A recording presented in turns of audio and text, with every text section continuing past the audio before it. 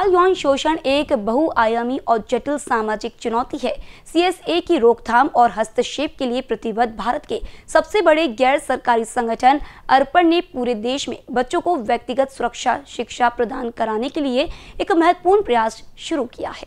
इस लक्ष्य की प्राप्ति के लिए अर्पण भारत भर के विभिन्न जिलों में जमीनी स्तर पर स्कूली शिक्षकों के लिए गहन प्रशिक्षण कार्यशालाएँ आयोजित कर रहा है। सरकारी स्कूलों में स्थानीय हितधारकों के सहयोग से नवीनतम प्रशिक्षण कार्य महाराष्ट्र के यवतमाल ज़िले में सफलतापूर्वक पूरा हो गया है।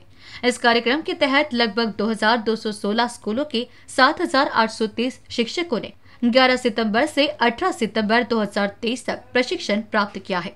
राष्ट्रीय अपराध रिकॉर्ड ब्यूरो यानी एनसीआरपी 2021 के अनुसार बच्चों से जुड़े विभिन्न प्रकार के यौन अपराधों के कुल बासठ मामले दर्ज किए गए हैं। इसके अलावा बाल यौन शोषण के सत्तानवे प्रतिशत मामलों में अपराधी बच्चों के परिचित थे। अर्पण का मिशन बाल यौन शोषण की घटनाओं को कम करने और इसके मनोवैज्ञानिक, सामाजिक, यौन और शारीरिक परिणामों को ठीक करने के लिए रोकथाम और हस्तक्षेप कौशल्य के साथ व्यक्तियों, परिवारों, समुदायों और समाज को मज़बूत बनाना है। इसके अलावा पीएससी कार्यक्रम के माध्यम से शिक्षकों को सशक्त बनाकर और युवाओं को प्रशिक्षण देकर अर्पण का लक्ष्य बच्चों के लिए एक सुरक्षित वातावरण बनाना है। अर्पण एक ऐसे समाज को बढ़ावा देने की दिशा में काम करता है, जहाँ बच्चे सेफ़ और सुरक्षित रह सके। Bureau report in news